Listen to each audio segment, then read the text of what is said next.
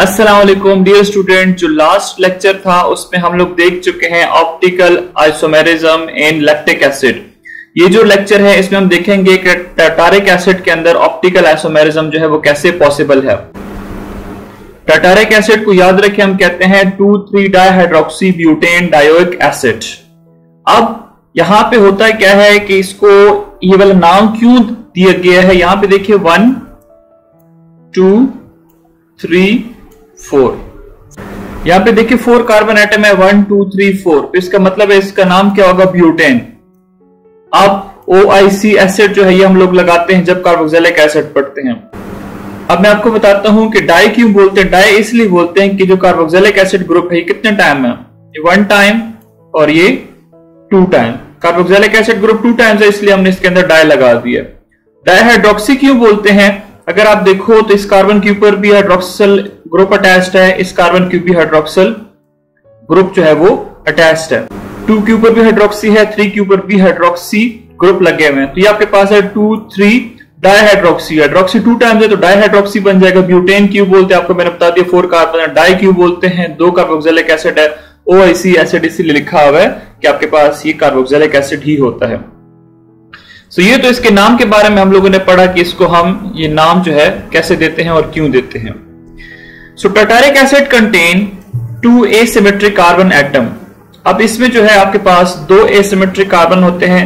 अगर आप इस मॉलिक्यूल को लेते हो फॉर एग्ज़ाम्पल इसका ये पार्ट ले लेते हो। सो so, ये कार्बन जो है दिस इज़ कायरल कार्बन ये इसको हम कहते हैं एसिमेट्रिक कार्बन इसको क्यों कहते हैं? क्योंकि इसके साथ फोर डिफरेंट ग्रुप्स जो है वो अटैच्ड हैं कौन कौन से ग्रुप्स मैं आपको यहाँ पे मेंशन कर देता हूँ। यहाँ पे हाइड्रोजन एटम लगा हुआ है। यहाँ पे अगर आप देखो तो हाइड्रोक्सिल ग्रुप लगा हुआ है। यहाँ पे कार्बोक्सिलिक एसिड ग्रुप लगा हुआ है। और इधर अगर आप देखो तो ये पूरा की पूरा एक और ग्रुप जो है, बल्कि ग्रुप इसके साथ अटैच्ड है। सो इट मींस कि जो रेड के साथ मैंने इसको मेंशन किया है, इस कार्बन को आप क्या कहोगे? दिस इज़ एसिमेट्रिक कार्बन ये इसको आप कायरल कार्बन कहोगे। कायरल कार्बन कौन सा होता है? हम प्रीवियस भी पढ़ चुके हैं। वो कार्बन जिसमें फोर डिफरेंट एटम या ग्रुप ऑफ़ एटम अटैच्ड हो। तो इसका मतलब है, एक तो आपके पास ये कार्बन जो है दिस इज़ एसिमेट्रिक कार्बन अब दूसरा कौन सा एसिमेट्रिक कार्बन हो सकता है? दूसरा हमारे पास ये वाला हो सकता है। ठीक है दिस इज़ एसिमेट्रिक कार्बन अब इसको एसिमेट्रिक कार्बन क्यों कहते हैं? इसके लिए भी वही बात है कि आपके पास देखें यहाँ पे हाइड्रोजन अटैच्ड है। ठीक है, यहाँ पे कार्बोक्सिलिक एसिड है, यहाँ पे हाइड्रोक्सिल ग्रुप है, और इधर ये पूरा एक बल्कि ग्रुप जो है, ये अटैच्ड है। सो so, कार्बन की वैलेंसी फोर होती है इसलिए इसने फोर बॉन्ड बनाने हैं four different atom group of atom अगर अटैच है तो उस कार्बन को आप एसिमेट्रिक कहते हो या उसको आप क्या कहते हो कायरल कार्बन सो इसलिए आपको कह रहा है कि दो एसिमेट्रिक कार्बन एटम जो है इसके अंदर अटैच होते हैं जो मैंने आपके सामने एक्सप्लेन कर दी. Four forms of tartaric acid are brown ठीक है टाटारिक एसिड की अगर हम बात करते हैं तो इसके हमारे पास फोर डिफरेंट फॉर्म्स होती हैं. Two of them are optically active and two are optically inactive अब हम इसको देखेंगे कौन सा एक्टिव है कौन सा इनएक्टिव है। Optically active forms are related to each other as an object to its mirror image अब ये आपके पास जो है positive acid I hope so आप, आपको समझ आ रही हो कि पॉजिटिव एसिड कौन सा होगा। जिसकी प्रॉपर्टी होती है कि लाइट को पॉजिटिव डायरेक्शन में क्लॉकवाइज डायरेक्शन में मूव कराएगा so that is positive isomer of tartaric acid negative कौन सा होगा? वो आइसोमर जो कि प्लेन पोलराइज लाइट को एंटी क्लॉकवाइज डायरेक्शन में रोटेट कराएगा, उसको क्या कहोगे? दैट इज़ लीवो रोटेटरी अच्छा इसके अलावा अगर हम बात करते हैं इस आइसोमर की, जिसको हम कहते हैं मीजो एसिड अब मीजो एसिड कौन सा होता है? मीजो एसिड या मीजोटाटारिक एसिड वो होगा, जिसके अंदर within a molecule plane हो, जिस प्लेन के थ्रू आप इसको दरमियान में से काट सकें। ठीक है? Plane of plane of symmetry ठीक है, जैसे हम लोग पहले पढ़ चुके हैं। अगर इस मॉलिक्यूल को हम यहाँ से काट देते हैं तो क्या होगा? इसके दो इक्वल पार्ट्स बनेंगे, ठीक है? एक आपके पास ये होगा और दूसरा आपके पास ये इसका पोर्शन अलग हो जाएगा। अब अगर आप देखो तो इसका मतलब इसके अंदर प्लेन मौजूद है। अब ये जो आपके पास आइसोमर है, जिसको हम मीजो कहते हैं मीजो में होता क्या है कि within molecule plane of symmetry मौजूद होती है। अगर हम उसी मॉलिक्यूल के बीच में से काट देते हैं तो इसके दो इक्वल पार्ट्स हो जाएँगे। अब इस वजह से क्या होता है कि जो ऑप्टिकल एक्टिविटी होती है वो इसके अंदर नहीं रहती।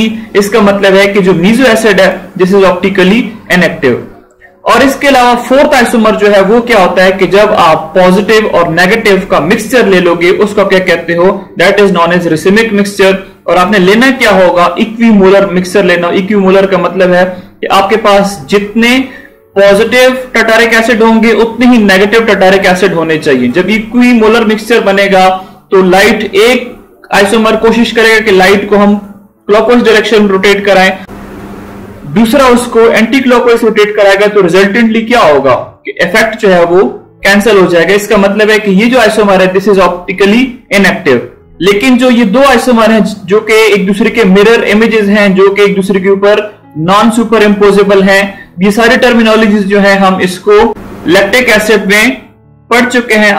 आप वहाँ से इसको सीख सकते हैं। ठीक है? तो ये जो आपके पास आइसोमर है, हम इसको ऑरेंज कलर से रिप्रेजेंट कर लेते हैं। ये वन और ये two these two are optically active लेकिन अगर हम बात करते हैं मीजो टटारिक एसिड की, ठीक है, इसको हम कह देते हैं थ्री और इसको हम कह देते हैं इक्विमुलर मिक्सर को फोर ये आपके पास दोनों जो होते हैं दे आर ऑप्टिकली इनएक्टिव अब पॉजिटिव टटारिक एसिड की बात कर लेते हैं। इसमें वही लिखा हुआ है कि आपके पास जो प्लेन पोलराइज लाइट होती है, उसको क्या करता है, क्लॉकवाइज रोटेट कर देता है और इसको हम कहते हैं डेक्स्ट्रोरोटेटरी अब negative lactic acid is the mirror image of positive lactic acid and vice versa अब नेगेटिव क्या होगा? इसके टोटली ऑपोजिट होता है कि एंटी क्लॉकवाइज रोटेट कराएगा और उसको हम लीवर रोटेटरी कहेंगे। It rotate the plane of polarise light to the left anti clockwise direction is called laevorotatory negative है। पॉजिटिव नेगेटिव जब रिसमिक मिक्सचर बनेगा it does not rotate the plane of polarise light that is it is optically inactive ठीक है? जिसकी मैंने आपको जो इसके पीछे कहानी है, वो मैंने आपको सारी सुना दी है। It is equimolar mixture of positive negative form और इसको हम रिसिमिक मिक्सचर कहते हैं। इसके बाद मीजो एसिड है। मीजो एसिड के अंदर प्लेन ऑफ़ सिमिट्री मौजूद होती है, जिसकी वजह से ये लाइट को ना तो क्लॉकवाइज डायरेक्शन में रोटेट करवा सकता है, ना ही एंटी क्लॉकवाइज में। इसका मतलब है कि ये structure three and four optically inactive है और स्ट्रक्चर वन एंड टू जो है ऑप्टिकली एक्टिव है। So this was all about optical isomerism of tartaric acid next जो लेक्चर है जिसपे हम डिस्कस करेंगे geometrical isomerism in alkenes thanks for watching